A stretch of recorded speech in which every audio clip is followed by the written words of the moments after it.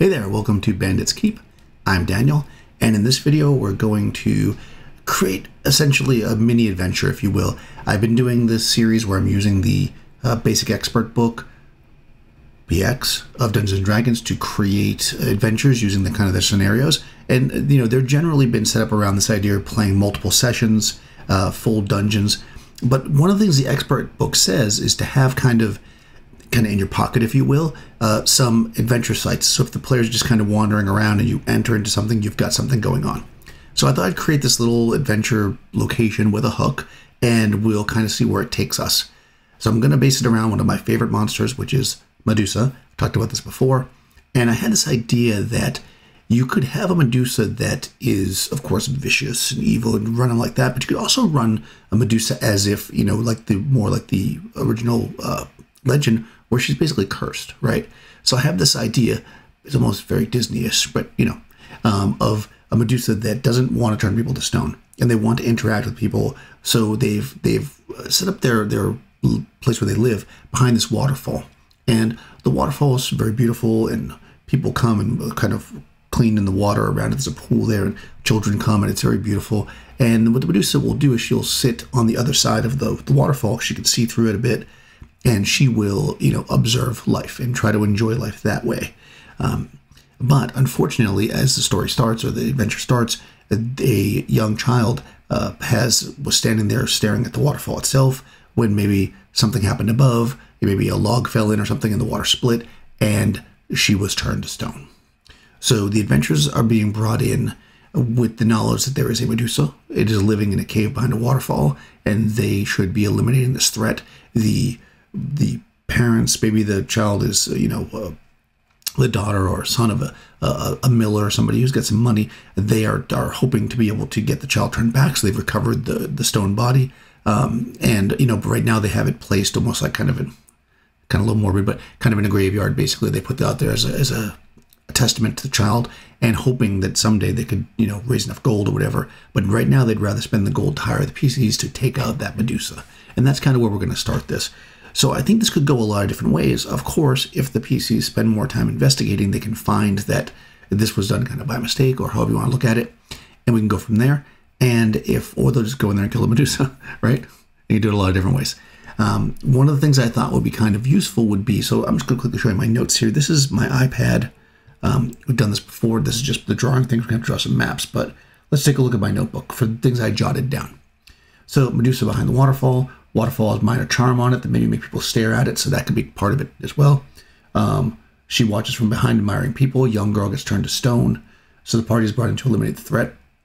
So if they destroy the Medusa, they can find her journal, which will describe how she's cursed, right? So that's kind of make you feel bad about it. Um, but also a treasure map that leads to a hoard, including a magic user scroll that has a stone to flesh scroll, uh, spell on it. Now, it could be the Medusa knows that this scroll exists, and maybe she can offer it to the party if, if you know, if they try to talk to her, right? She can say, I have this treasure map. I know it goes to this place. It has this scroll. I can't use it, but uh, some kind of magic user could use it, and we could bring the, the little girl back to life, right? Um, perhaps at the location, maybe the Medusa doesn't know this. Maybe there's another scroll as well that's like a remove curse or something, and maybe or maybe just the kindness of doing this. will, you know, if you want to have that kind of story, if you want it to be more tragic, that's also fine. Uh, and of course, there'll be treasure there. So if the player characters go in there and slay the Medusa, they'll get some gold. If they decide to pursue this stone to flesh thing, there'll be a treasure map. So that's kind of part two of this. So let's get into this and see what we need. I made some notes. Um, we're going to need some kind of a background, which I just kind of told you. Um, we're going to need a simple map for the Medusa lair. It shouldn't be very big because this is going to be hopefully the beginnings of an adventure and then we're going to do a treasure map and then the actual map of that dungeon. I'm going to try to make this relatively short, so we might save the actual map at the end of the treasure for another adventure. Maybe it could be any of the other uh, ideas that we have, but let's see how, how long this takes. So let's get to it. Number one, let's draw the map for the Medusa's lair. I'm not going to go too crazy uh, here. You can look for all kinds of maps. We know it's a waterfall, so the first thing I'm going to do is I'm going to kind of draw a side view. Um, you know, we've got the, the water coming, this is Procreate, by the way. People ask me all the time. Um, we've got the water coming. It's going to rush down. Obviously, it, there's a cutaway. And then we'll say there's a pool. It's a relatively shallow pool where people, uh, you know, bathe and stuff. And in this pool is, uh, frankly, where the Medusa, you know, watches. So we've got the water if you want to make it blue, maybe so I can see what I'm doing. We've got the water like rushing over, you know, pouring down. It's a waterfall and filling up this area, right? The Medusa's lair itself, of course, is inside the cave. So we don't need all that. We got a general idea of what it looks like, right? So this is a little side view. It can help, uh, you know, to, to kind of illustrate what's going on here. Okay, so now we're going to actually draw her cave. Back to black again. Effectively, we're going to have, this is going to be obviously an upper view now. The, the river is kind of running like this. The waterfall falls down. The cave then enters. We get a cave entrance, which goes back into this cave network. Now, of course, the Medusa is living in here, and she goes out at night maybe to, to collect berries or hunt or whatever. You can make this more than just a room, which is what I would do because obviously she doesn't want to be found. So clearly, people probably go behind the waterfall sometimes. So there's going to be effectively a cave back here um, of some size, and then in that cave, we're going to have some kind of a, a, a secret or concealed door, right? Uh, this could be just as simple as a pile of stones built up, or maybe there's actually a secret door there. Um, and that's going to lead into some kind of ancient, you know, dungeon or structure that was here before, where the Medusa actually, you know, is living. So this could be any number of rooms, but I think we'll keep it relatively simple. Now, before we go too far into this, let's think about um, the Medusa for a second. So she can't um, have any kind of there can't be any animals in here or whatever that, that for the party to fight that could be turned to stone, right? So nothing they can see. So let's take a quick look at our basic book. Um, this is the, again, the Moldvay basic book. Let's just take a quick look at our monsters. I think that there are, there's a couple of monsters. I believe the giant shrew um, is actually blind. Okay, so we've had the giant shrew. Now, the giant shrew um, are basically, uh, you know, relatively small, but they are, I mean, they're giant, right? Um, you know, they are Right. They, like bats, they use very high squeak to see areas around. They can listen to echoes close may see. The silence will blind them. So basically, they are blind. It, effectively, I don't know. Anybody out there that knows about animals might be like, they're not actually blind. Uh, uh, for, for, the, the effect of this, they're blind. So we can use giant shrews and a, a layer of giant shrews. So if there's a family in here, it could be up to one to eight giant shrews. They're only one hit die. They're armor class four. I don't necessarily predict this to be a really high level module, to be honest with you. Um, they can just more or less be there to be there, right? So we can actually have the fact that there's a giant shrew lair. Perhaps they are what what's out here. So I'm actually gonna right here in room number one. I'm going to actually make this one the giant shrew lair. Then then we got a secret door, and then we're going to go into another chamber in here where that'll be number two. And then let's just say that there's this is a bit of a a structure. I'm just going to draw a couple of another rooms connected to this this was some kind of structure before. It doesn't actually matter what it was. I know that some people say, "Oh, you got to know what the thing was," but I'm not one of those people. So, yeah. for me, um, this is totally fine to just have this be some kind of a structure. Perhaps it was a guard post or some kind of a thing um, before. It's just going to be a series of rooms that are connected uh, via some doors. Okay, I'm back to the iPad. Um, I've drawn a couple rooms here. What I'm going to do is I'm actually going to use a series of secret doors so that the Medusa herself has the ability to move around this place. She's going to try to avoid people if she can, because at first she starts off at being, you know, again, not really looking for trouble, but if the party is looking to kill her, then she's going to try to, you know, avoid them, and if necessary, she will, in fact, you know, fight and kill. So we'll say this is like some kind of a, you know, whoever was here before was very paranoid and they created kind of a, a series of passageways to get around. So we'll have uh, was effectively four rooms here, plus the hallway. Um, and I think we'll put the treasure in room number four, you know, behind a locked door. In room three, the door will be open, something like that, right? And maybe in room three, we'll put something else in there that might be um, might be detrimental to the player characters. Maybe she's growing. Um, and again, I don't want her to be evil, so let's put something in there. Let's put shriekers in there. So let's make some quick notes here. I'm going to again go back to my notes. We get the Medusa map. We're going to go, all right, so room one is a family of giant shrews. Um, they are, uh, so there's up to eight of them, right? Yeah, shrews. One to eight. Number two is, uh, we'll deal with in a second. Number three is going to have Shriekers. That will help her. You know, obviously, uh, if somebody's coming for be Medusa. Medusa's room with treasure. Um, and I think that's it, right? There's just four rooms. So let's go back. Yeah, so room three has got the Shriekers. Room four is the Medusa itself. Room two is the is the main room. Actually, well, she probably doesn't want Shriekers yelling every time she walks by, so they probably wouldn't be in that main room. Oh, and room four is going to be locked. Well, I'll make a note of that when we go back over this. Let's find something for room two. So again, I feel like this is a fairly low, even though Medusa is obviously very deadly. I think feel this is maybe like a second level adventure so far. It's not crazy we want the player characters not to be over overconfident to run in and kill this Medusa, because then you'll lose that whole backstory thing, right? So we want to make it so that they're going to have to be smart about this. Um, so if we go to our wandering monsters, here let's go level two wandering monsters and see what we might be able to put in that room.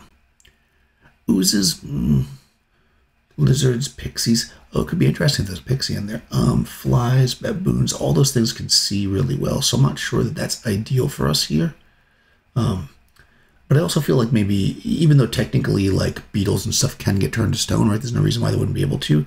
I'm just gonna say that she's maybe careful. Let's just put some fire beetles in there. Like I, I always like fire beetles, and they'll also be the way that she can have light, right? So room number two is gonna have fire beetles.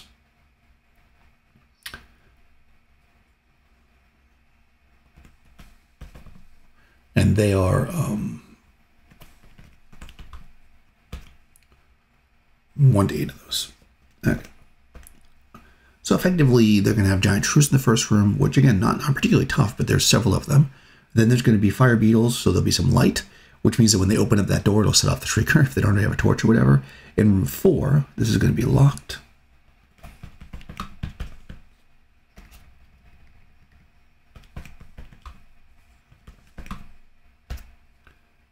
And then that's going to have the Medusa's treasure, which we know will include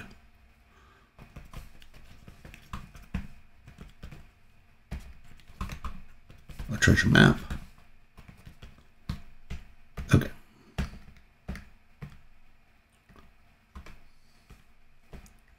We already have the other nodes up top, so I'm not going to write that down again. So this is basically the Medusa layer, right? It's really, really simple. And in fact, if you were doing like a, a short one shot, you could probably use this without the little backstory that I created. You know, you could just have somebody go in there, it, if you put some wandering monsters on the way, a little bit of a hex crawl to get to this place, this in and of itself could be a little final battle area. It's not terrible in and of itself, it's its own thing.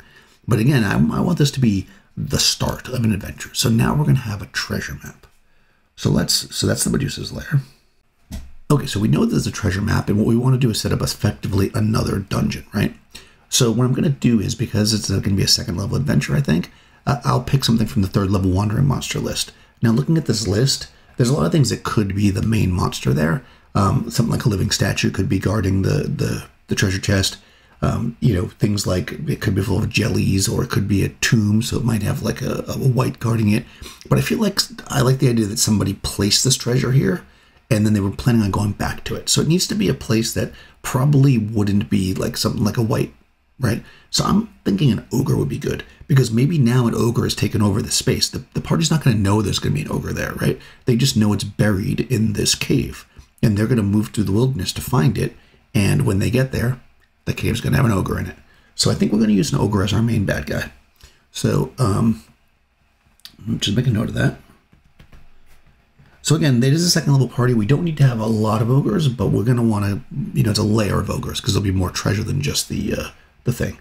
And then the other thing we want to do is we're going to um, we're going to have a wandering monster list as they travel through the wilderness. That's kind of what I want to do here. We're going to run this kind of like uh, an abstracted hex crawl. Like we're not going to make an actual hex map. We're just going to kind of have it take X number of days and they're going to roll for wandering monsters and we're just going to narrate. We're going to keep it real simple. I've talked about this before with travel. So let's go to expert. So we're looking at the expert book now, even though this is only second level, right? Um, and what we're going to do is we're going to, they're going to travel through a forest to a cave with an ogre. That's basically what the treasure map is going to be. So we're going to look at this and I'm going to look at the uh, on the side here. I see woods, and there's eight options for things you could run into. And what we're going to do is instead of like rolling on this each time, we're going to make our own wandering monster list, and we're going to use a uh, a 2d6 roll because that's generally what I prefer to do. Um, so let's just quickly go over and I'll show you how we're going to set that up. So I'm going to go back to here. So uh, let's see, treasure map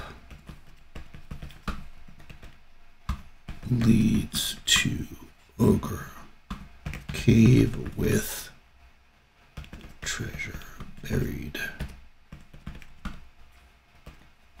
Ogre is unaware. Okay, so that we're going to need a map for that, but we'll deal with that in a second. Overland travel. Let's say um, 1d6 plus 3 days. Check each day for wandering. For I'm just going to call it encounter, not wandering monster. Encounter and um, what we're going to do here is, and you can make all kinds of uh, adventure maps, of wandering encounter type maps where it might be they run into some kind of a hazard. Actually, that's what we're going to do. There we go. So well, let's play with this a little bit. So we're going to check each day for an encounter, adding, okay, period. Encounter on a roll of six on a d6 period each day add one to the roll until an encounter happens, then reset. Okay. So in other words, they're going to, it's going to take a minimum of four days, so they're probably going to encounter at least one thing. Um, so let's make our thing. So if we're doing a 2d6 roll, we have two, three, four, five, six, seven, eight, nine, 10, 11, and 12. Okay, and we have eight things here. So I'm to do is I'm to, in, in, I'm to disperse within them stuff. And what's funny is the first thing here listed is men, which I don't mind having being the first thing because I feel like this should be a relatively deserted area. So we're to look at the men list, right? So um, we go over here and we're to go, and I'm just to roll, and then we'll, if it's weird, we'll just not use it. But I think I'm to roll and see what happens because we can usually always make things work, right? Uh, woods for men, I'm rolling. I got 10 bandits, that's perfect. Okay, I'm going to skip three for now. I'm going to go to four. And I'm going to, we can shake these up and put them in different spaces if we want. So the second one is a flyer. So I'm going to look for, so that's suitable men. I'm going to look for suitable flyer for flyer, we have mountains, desert, and other. So I'm going to roll it on other. I'm going to roll rolling a d12 here. I got a 9. Robber flies. Cool.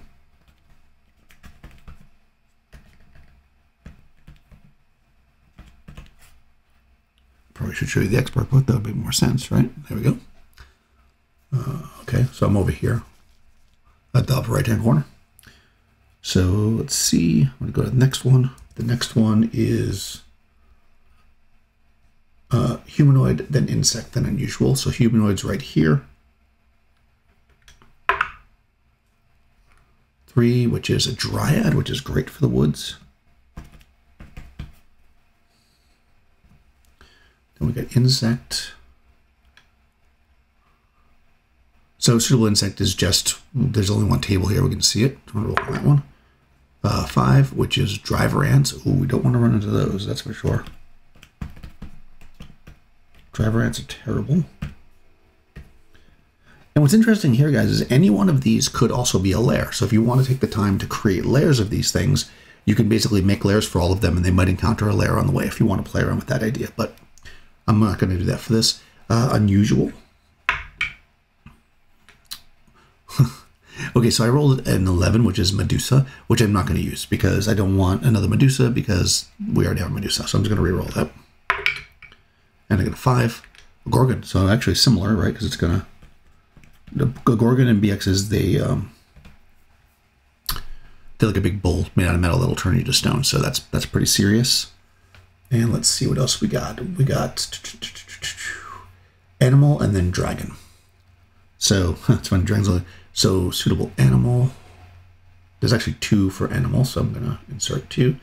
So for woods, we got a six, which is a gecko lizard, and I rolled a six again, so I'll roll something else, and a three, which is a panther. So I'm gonna go lizard.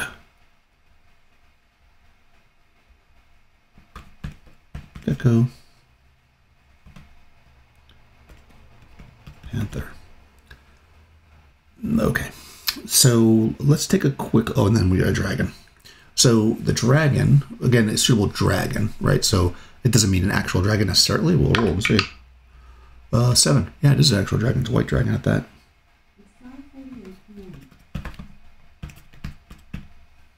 Cool. Okay, so now let's take a quick look at our list. All right, so if you see here, I've left some space. So what I'm going to do, remember when you're rolling 2d6, your most common numbers are going to be like the middle, like 6, 7, 8, 9, stuff like that. So I want to look and just make sure that like I made sure I put dragon at 12 because that's the most unusual and 2 is also the most unusual. So I think Gorgon's also really tough. So I'm going to put Gorgon down here. So I'm going to rearrange these.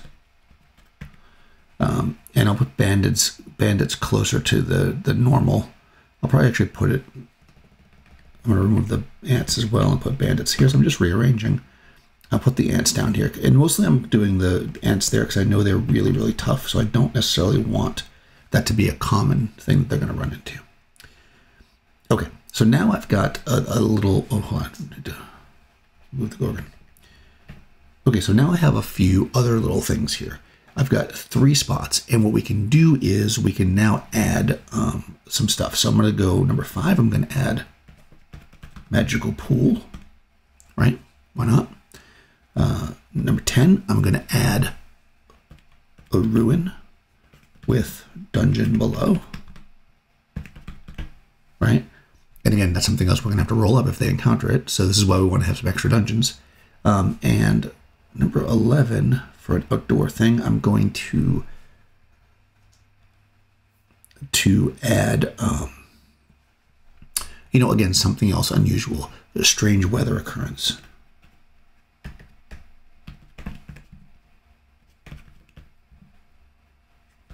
Animal movement. So again, this is going to be something that we're going to use for flavor.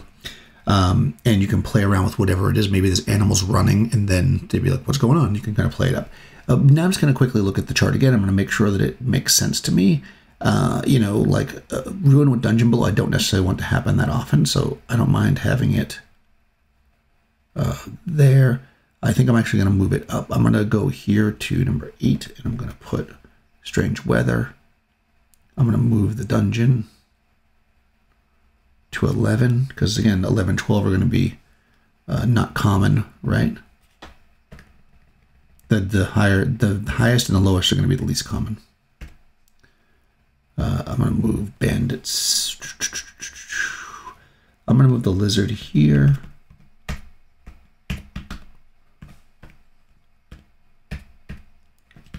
I actually like encountering people, and I think the bandits might actually create a interesting roleplay situation because if the bandits get away or they negotiate, the bandits might follow them, right, and figure out what's going on. So let's look at it again.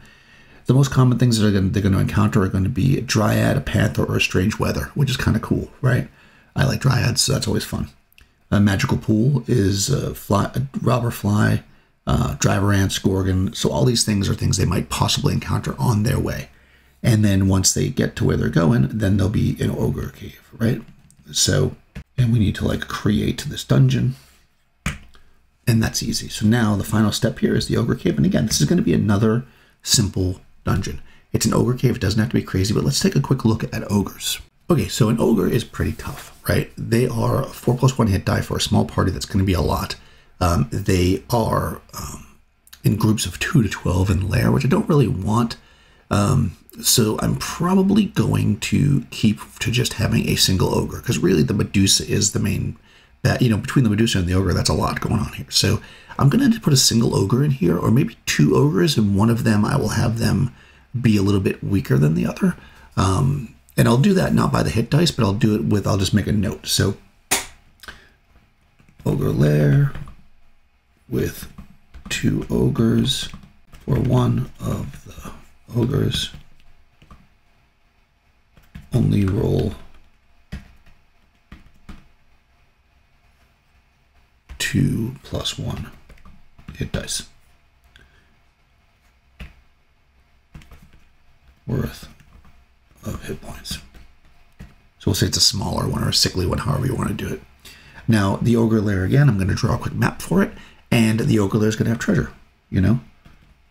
Treasure, it's probably going to have like maybe half to a third of the amount of treasure that uh, that an ogre would normally have. So their treasure type C plus 1,000 gold pieces. And remember that the, the treasure map is going to lead to a buried treasure the ogres don't know about. That's the Medusa's treasure. So that's their treasure. Let's go up to the Medusa. Well, I'll actually put it here. Medusa's treasure. Okay, and Medusa is their treasure type F. And it's going to have a magic scroll, of course, because that's kind of part of the that's part of the whole thing here, right? So, okay, let's go ahead and I'm going to actually just roll up the treasure. That's take some time, so I'm not I'm just going to cut to having the treasure, and then we'll talk about it a little bit, and we'll wrap this up. Okay, so I actually went on the OSE generators. I'll put a link. I've done this before. I probably could have recorded that, but in any case, I went on the OSE generators and I rolled rolled treasure for the two. Now the first one is the ogre's treasure. Now remember that there's only like two ogres here out of a possibility of twelve, so that's like one six. I mean, you know, it doesn't have to have a full 12 to get the full treasure, but we want to reduce the treasure if there's less ogres. I'm going to say we're going to do about a quarter of this treasure. So looking at this treasure here, I can see that they get a thousand gold, you know, C plus a thousand. So I'll change that to 250. This is the, the ogres again. Um, and they've got pieces of jewelry equal to about 1200. So I'm going to uh, make that about worth about 400. So I'm just going to get rid of these two. And now they've got two magic items. One is a spell scroll, one is a potion of growth. I think I will leave one of those two items here. Um, so I'm just going to roll a six-sider. If I roll high, I'll keep the scroll. If I roll low, I'll keep the potion. I roll a five. I'll get rid of the potion of growth, and then I'm going to leave that spell scroll. So this is the stuff the ogre itself is going to have. Let's get rid of that. And then buried in here under the ground is going to be the Medusa's treasure. Now, Medusas come in a group of one to four, and it says that if even if there's only one Medusa, you would still get full treasure. So I rolled a full treasure for her, and we can see that there's 3,000 platinum pieces, a rope of climbing, helmet telepathy, sword plus one, potion of invisibility, and a scroll. And of course, we know the scroll. Unfortunately, the party lucks out here because it's supposed to be a cursed scroll, but I'm going to make that a scroll of flesh to stone. I mean, yeah, stone to flesh, rather. Because that is what we want to put in here. So luckily for the party, they in fact do not end up with the cursed scroll because of that. Um, and that's a heck of a lot of treasure, but they will have had to have defeated somehow the Medusa to to get here, and also the ogre. And if they do that, they will get a ton of treasure. And we've talked about this before. A lot of uh, more modern adventures, sometimes because they're like that doesn't make sense for the economy, they don't give enough treasure. Um, this is a ton of treasure, but it's also uh, incredibly risky and it's second level. So I don't think this is too bad. So let's do a couple of quick things to kind of clean this up. And number one, I'm just going to draw the ogre's map. So let's go over here. This is the Medusa's map on this side with the side view. And the ogre's cave is literally just going to be a cave. I think that it's probably going to have like uh, a cave opening like this just to make it a little more interesting. And we'll have it come back a little bit and then kind of like have a bend to it so that the you know you don't see the whole thing when you kind of are, are coming in. So it'll be kind of like this right?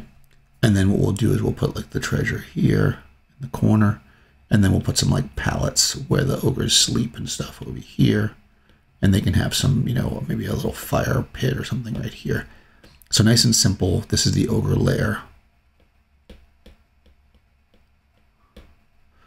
you know, and that's it, right? And then this is the Medusa. So we don't have to go crazy with our maps. This is enough to be able to talk to the players and tell them what's going on without going too too crazy. Let's go back to our notes and let's make any final summaries here.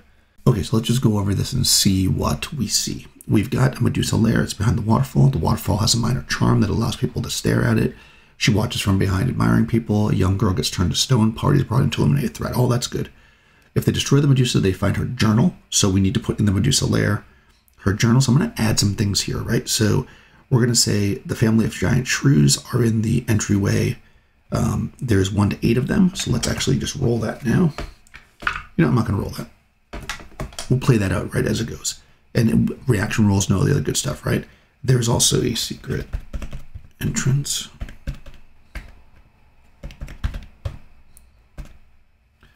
I'm going to say that it's a door blended with stone wall. Okay, the fire beetles are kind of making their camp there. Uh, there should also be some small tunnels burrowed in the walls where the beetles come and go from, you know, because obviously they have to get in and out, right? They have to eat things. The Shriekers are totally fine. They're just in that room by themselves. Maybe they're cultivated by the Medusa. Who really knows? The Medusa's room is going to be locked. Um, and obviously she'll hide there if need be. Um, room with treasure. Treasure includes the treasure map to Ogre Lair. Treasure is buried. And again, you can draw this map if you want. Um, overland travel via the map. Now, the way I like to do this personally is every day I would just have one of the players roll. If you want and you want to keep it tighter and you like to have control over the adventure, you could pre-roll this as well, right? And then you just know, okay, on day three they encounter something. That's also a fine way to do it. They're going to roll a a d6, but then it's going to take d6 plus three days to go out there. Each day, check for an encounter. On a roll of a six, they have one, but each additional day you'll roll, you'll add one. So the first day you're going to say, hey, player one, roll a d6. They roll a three. Then you say, second day, hey, player two, roll a d6. They roll a four, and you add one, so it's five, so still no encounter. Day three, hey, player three, roll a d6. They roll a five, plus two is seven, so now you have an encounter, right? And then it resets again. So the next, when player four rolls, it's just a straight d6 again, so they don't keep hitting things. Then you're going to roll on this table. They'll have their encounter, so it mixes it up a little bit. One of them might even have a small dungeon layer, which you could use anything for. I'm not going to develop that here in this one, but um, you know, we can figure it out. Uh, maybe that's just a tomb, right? Maybe you just if you if you do it on the spot and you hadn't planned, you could just put like a a random thing down there, put a, a a wight down there under the ground with some treasure. You know, you can do that. Um, and of course, they could might encounter a white dragon, which in the woods might not be super suitable, so it might just be the dragons flying overhead. We've talked about that kind of stuff before. The treasure map is going to lead to the ogre cave, which is buried. The ogre is unaware that it's there. The ogre has two ogres. One of them is a, a kind of a lesser powerful ogre, because again, this is a second level adventure. The ogres themselves own a piece of jewelry, some gold, and they have a spell scroll, which of course they can't use. Um, and then the Medusa's treasure, which is buried. I'll put buried in a chest.